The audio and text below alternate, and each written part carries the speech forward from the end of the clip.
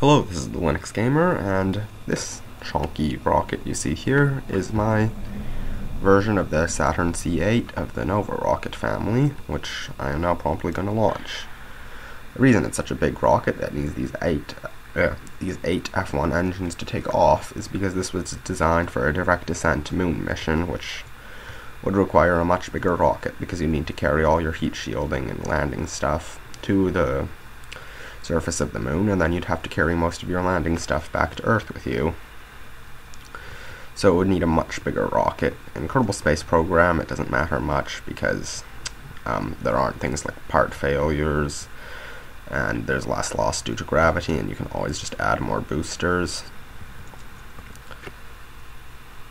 But yeah, I guess I should probably also mention that uh, these aren't actually stock fuel tanks, they're the or well, it's all stock parts, but these aren't fuel tanks that are part of the stock game, or indeed any mod. These are fairing pieces that are used to conceal standard Saturn V scale fuel tanks. So there's that.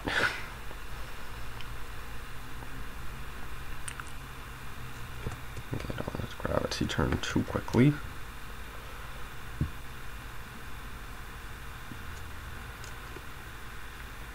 Yeah, okay get that back on the program mark.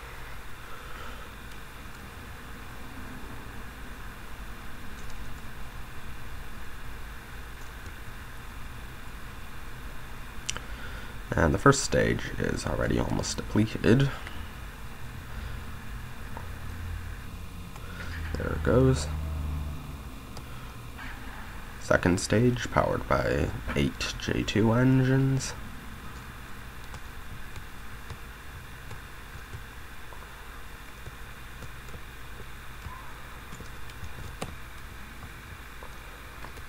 And I'm gonna ditch the abort tower now.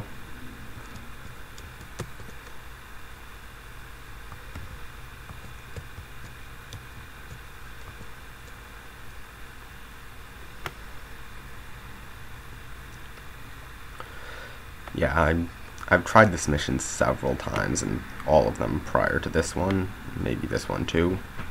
We'll see. I failed. So, yeah, sorry for the lack of commentary. I'm just sick of doing this mission for like the ninth time or something. Anyway, I'm not actually going to completely burn all the fuel in this stage 2. I'm going to uh, ditch it before I do my orbital insertion because I want to keep things somewhat realistic. Only blind ignition on the second stage, 2 on the third stage, so... As a matter of fact, the second stage has been burned to the desired completion and may now be ditched.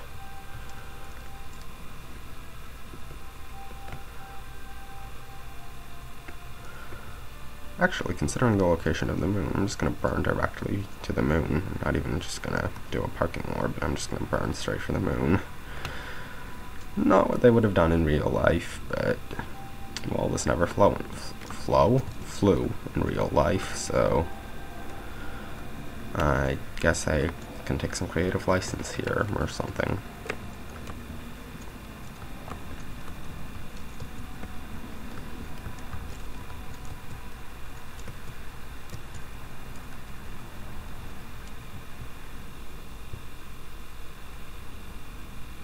Again, another period where I don't actually have much to talk about.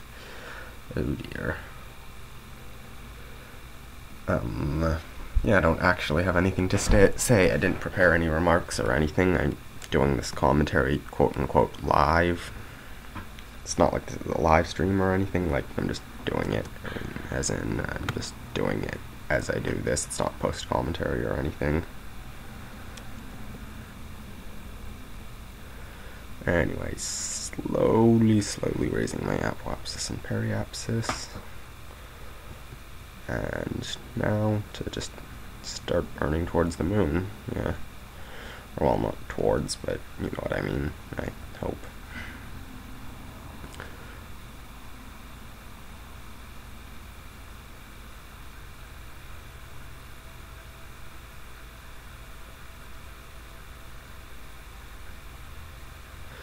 Anyway, I guess now is a good opportunity to yeah, good opportunity to talk about what I'm going to do next on the channel. So, um, after this one, I'm probably going to stop recreating historical and alt historical missions for a minute. Maybe make some SSTOs. Maybe do some non KSP games. Who knows? But yeah, that's kind of the plan for what to do next. Uh, I do honestly like doing these alt history missions, but I also like doing, uh, say, Road to the Stars. Like, that's something I enjoyed doing until I accidentally deleted the save file, and that's kind of what I want to do next. I had a lot of fun making it, and I'm sure those of you who actually watched it probably liked it. I even got a few comments on it, which is your cue to comment on, like, and share this video. Gosh, subscribe, do all those other things. I'm terrible. okay, burn's taking longer than I thought. Um, just speed up time a little more.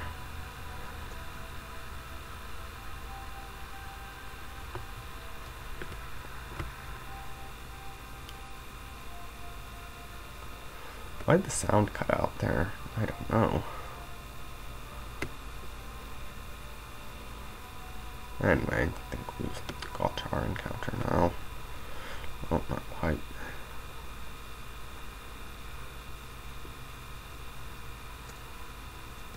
Oh, not on this orbit? Or do I need to go a little further? I'm gonna set the moon as target. Oh, even further. Okay then. I'm just gonna smash this stage into the moon because why not? And then get this engine ready. Go away from the discarded stage a bit and then get myself off a collision course. Don't normally go, like going into retrograde orbits, but I guess it's actually historically what was done with Apollo. So might as well just do it. And I'm actually, now I remember, gonna extend the antenna for a little bit of extra visual points.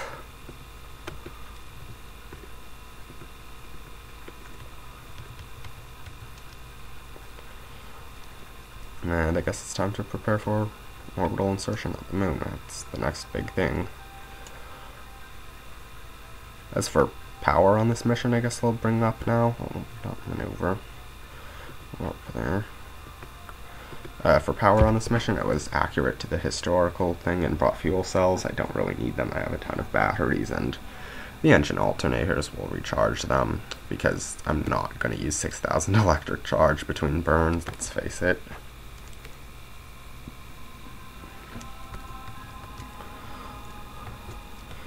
Okay, and begin orbital insertion.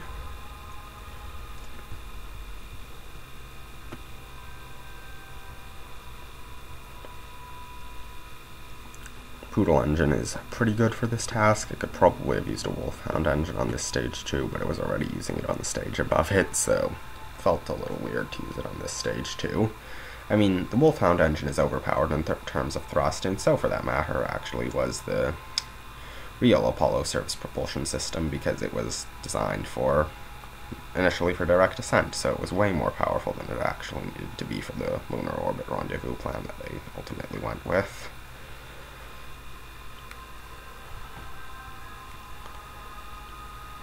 Anyway, just about got to a low lunar orbit, and then I'm going to actually time warp a bit so that I can land on the near side during day. Not sure why I want to land on the near side, probably just for realisticism. That and the fact that, I mean, if I for some reason need to communicate, I can, and you know what, I'm just going to land in these Midlands. Normally I'd aim for a crater, but it's not like this is career mode or something where I have to get science from a spe specific biome. So I'm fine landing anywhere, really.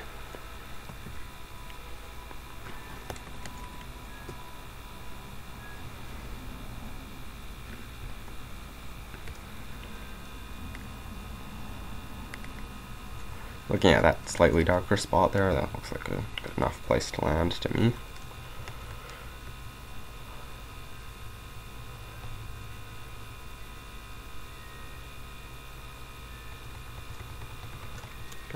Extend the landing legs,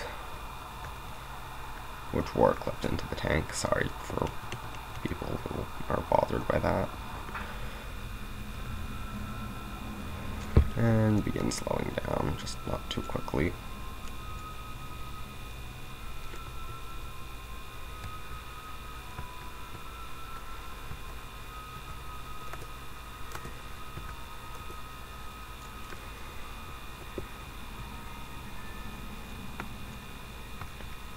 Sorry again for being too quiet. Landings are always tense.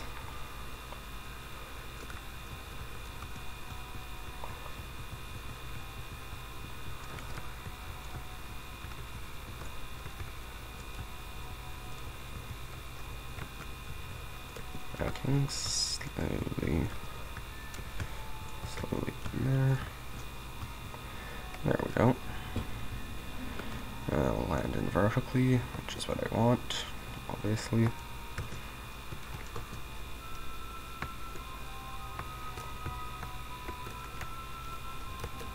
Oh, and bounced a little, but we have landed on the surface of the moon, and I actually brought a ladder for once, for reasons, I guess. So might as well extend those.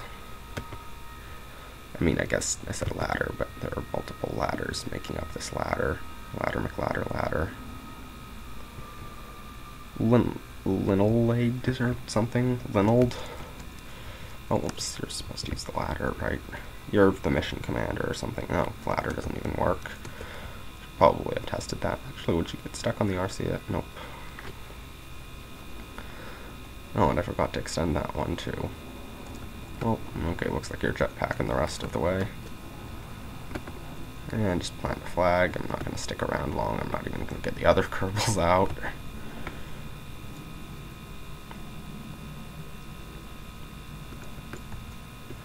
Not sure why I called the flag site that. I just need to call it something. Actually, I don't even need to call it something. You can leave a flag black blank.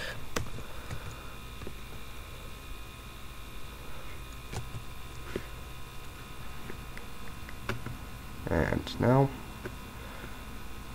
prepare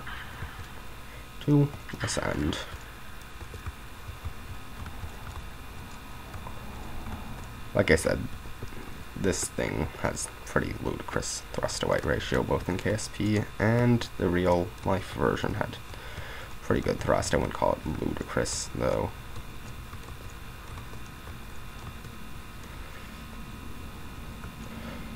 With my amount of delta V, though, I will probably have to employ the RCS thrusters to get me the rest of the way home, because I did not put a ton of fuel in this. It's just a few Oscar tanks and one uh, LV, no, FL T200 tank, so not exactly the, why am I still in physics warp? So, not exactly the most fueled, I guess, vessel ever. But with the RCS fuel, it'll be enough to get home.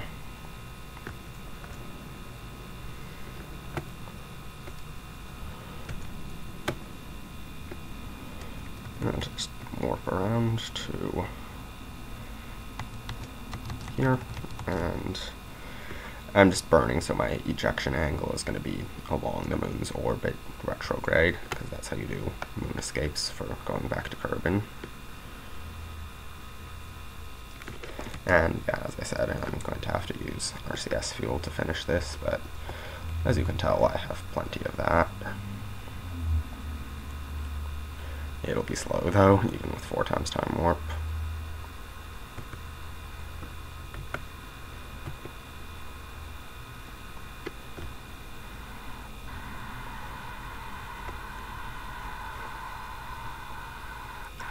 This probably wouldn't have happened if a direct ascent Apollo mission ever had flown, but, you know, whatever.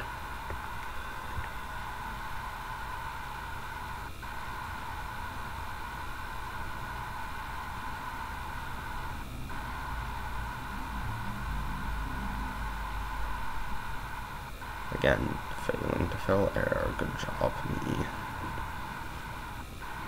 I really need to come up with some interesting stories about space just to fill time, even if they're not directly relevant. Yeah, Look, I'm not Scott Manley. Don't have a great deal of obscure knowledge about space that would make a good story to tell while uh, making a video, and I don't really want to divulge personal information, so I'm not going to tell stories about my personal life while making a video. Anyway, there we go. We're home and free, more or less, provided I don't completely screw up landing or something.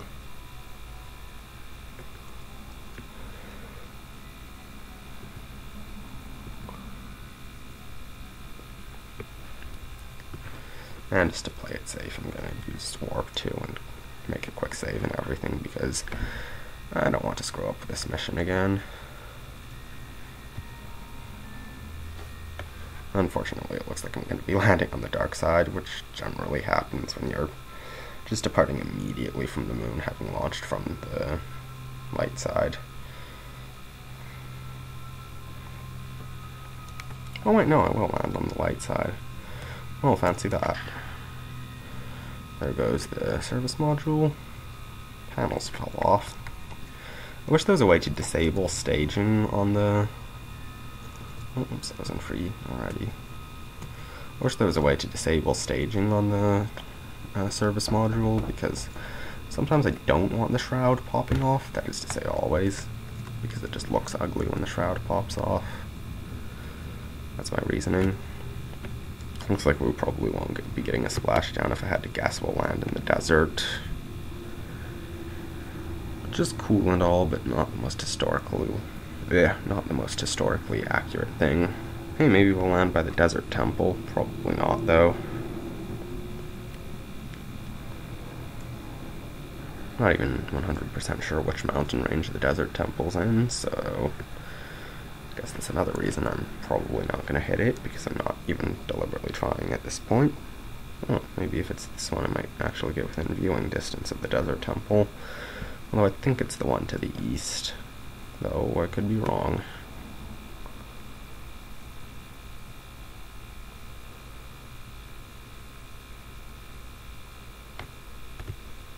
Yeah, not seeing anything of interest here I think the desert temple's in the eastern desert mountain range place area locale. Trying to deploy parachutes at the last second just to make this thing a little faster. I mean, that's not last second, but safety first. And now to wait like 25 seconds to descend. Yay! So, I guess, even though I already told you, now is your cue to like, subscribe, and share, and comment, and uh, watch my other videos, and uh, all those other things. No, I'm not an egomaniac, I promise. I just like sharing my stuff. That's why it's called Linux Gamers Archives, because this is an archive of cool stuff I've done, and maybe I do yearn after fame a little, but I try to provide useful and entertaining content. Well, that was a weird note to end this video on. Speaking of which, it is indeed ended. Thanks for watching. Goodbye.